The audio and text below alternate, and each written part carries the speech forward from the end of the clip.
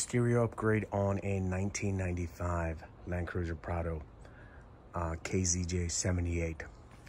So this is just the progress as I have the vehicle pretty much torn apart. So took this panel off. These are JLW, I'm sorry, um, JL audio speakers, six and a half. So I had to make these brackets myself, just out of the brown board. And wires are already there. Just to kind of show you, all the trims are off. This is another six and a half. now I did make a mistake, cut out too big of a hole here. So I ended up putting this uh, plexiglass right behind it to kind of secure it. Uh, the other one is already there. And the speakers that I'm putting in this car are C2650X and four inch for the front. Now they were not easy to put them in, but I'll show you what I did.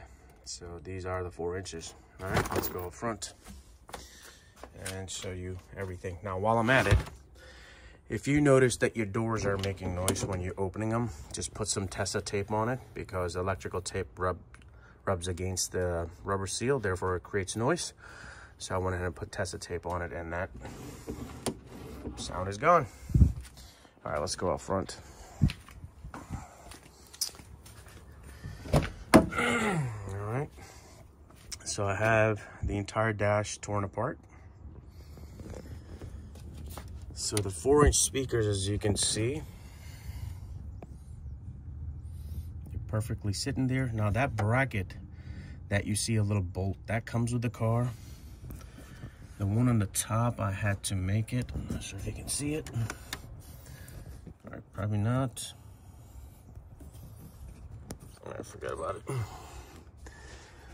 Um, but besides that, bunch of wiring harnesses I'm working through. All right, let's show you the other side.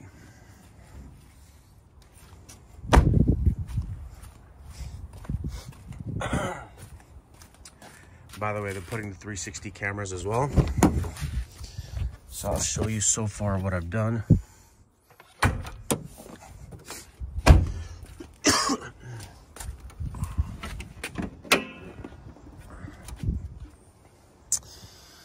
All right.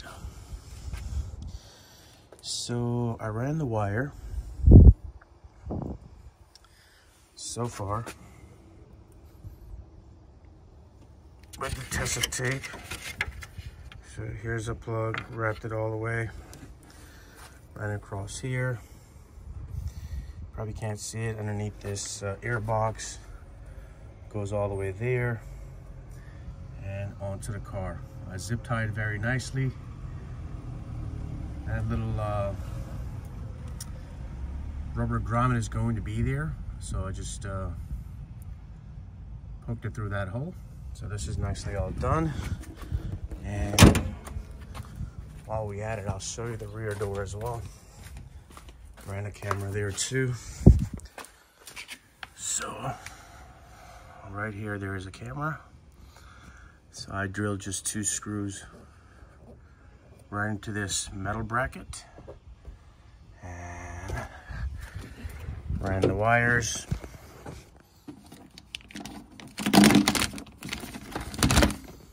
Through that hole right there, tuck them in.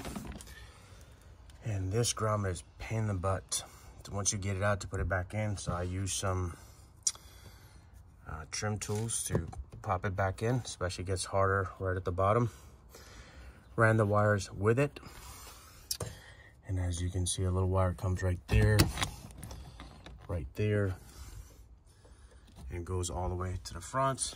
As you can see it, it's right there. And let's see here. Let's go to the front.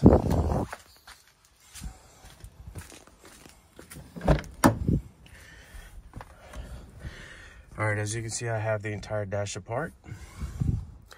So in order to get this speaker out was not an easy job. Best thing to do is take the cluster out. Then you can just kind of put your hands in.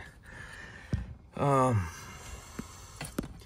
get it out here and one screw at the bottom. It's in order for me to put them, just uh, folded the folded these uh, little ears and just use one on the top.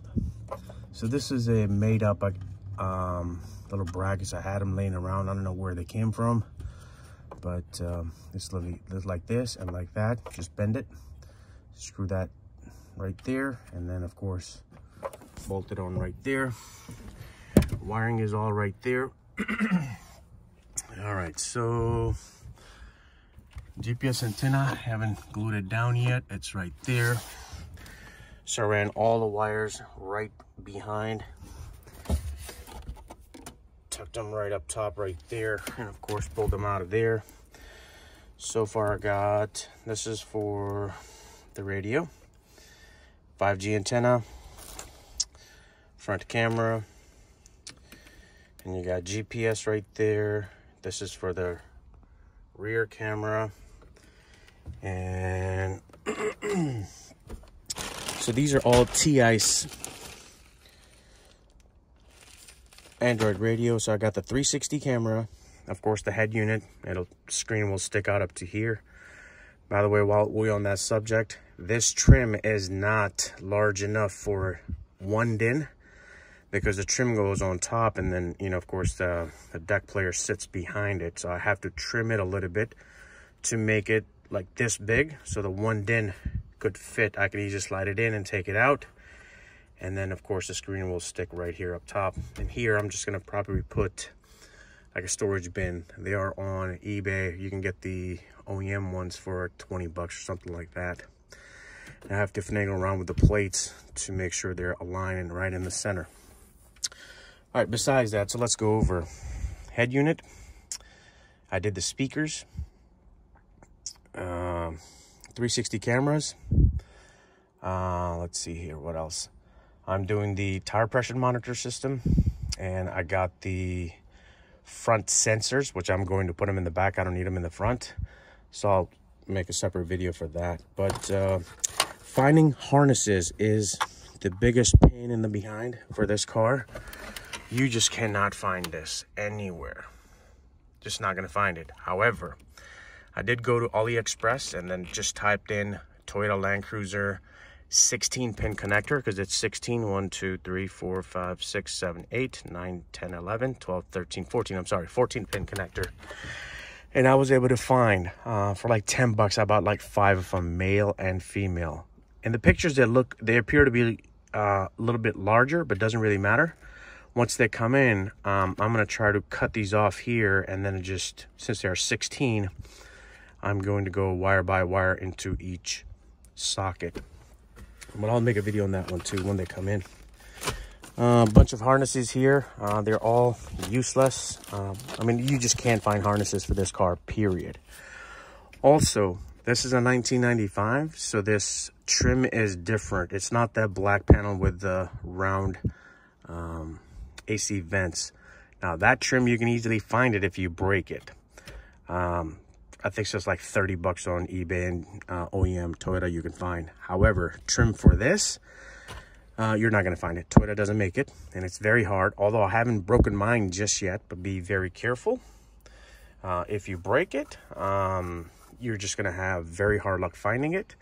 Luckily, I do have a friend in Japan who was on a hunt for one and uh, found one and gonna buy it and ship it. And they're not cheap either. Probably 130 to 200 bucks just for that trim if you break it. So be really careful.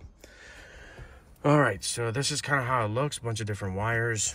And by the way i ran all the camera wires and everything all right behind in the corner here. And there's another i think this is a 4g or 5g by the way i did get a 360 camera as well as you can see so i ran the wires you can't tuck them in here uh, because of this rubber seal. So I just ran it pretty much all the way here. Uh, by the way, this is very hard. Your fingers are going to hurt. So use one of the, again, like a trim tool to kind of wedge them in like that. And I ran it all the way across. Here, I'll show you. That's the only place where it's exposed by the connector, but I ran it all the way nice and flush And of course it comes right behind the dash and goes right into here. And that's what you see here for the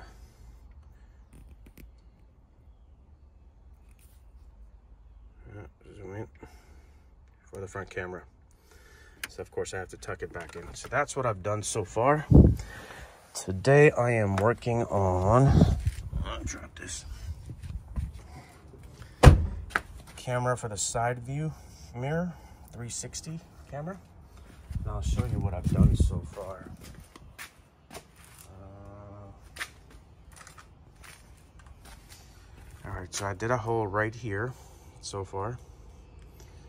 Uh, I put tape on it and uh, kind of measured it where I want, wanted the hole. So what I did was actually I lined the hole with with this letter.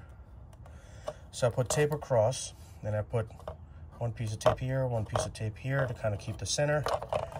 And I did it right